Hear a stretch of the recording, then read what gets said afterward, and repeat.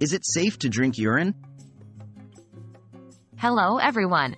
Today, we're going to address a question that might seem a little out of the ordinary. Is it safe to drink urine?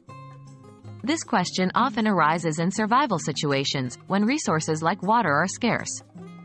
So, let's dive into this topic and see if it's indeed a safe and viable solution.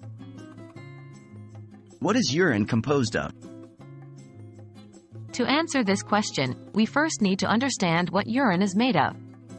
Urine is largely made up of water, but it also contains waste products your body needs to eliminate. These include urea, uric acid, and various electrolytes such as sodium and potassium. Urine can also contain trace amounts of toxins your body has filtered out. Is drinking urine harmful? Despite being mostly water, drinking urine is generally not safe. While it's true that in emergency situations some people have resorted to drinking their own urine, it is far from an ideal solution.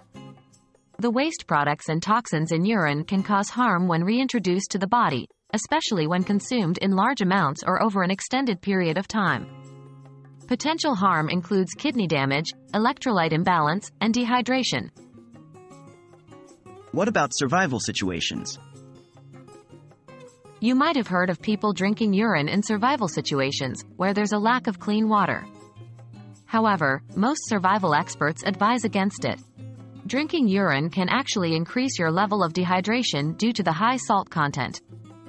It might seem like a good idea when you're desperate, but it can do more harm than good. Are there any exceptions?